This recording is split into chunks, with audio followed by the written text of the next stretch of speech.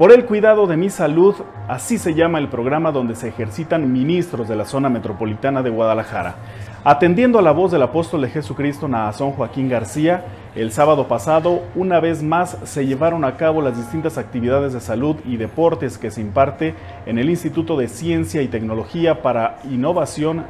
en Salud. Estas actividades seguirán su curso en los siguientes días invitados por el apóstol de Jesucristo, médicos, nutriólogos, especialistas de la salud y en educación física de la iglesia, para que transmitan a, a todos la cultura de la alimentación sana, la de vivir en salud, de eh, ejercitarse. Así expresó el ungido de Dios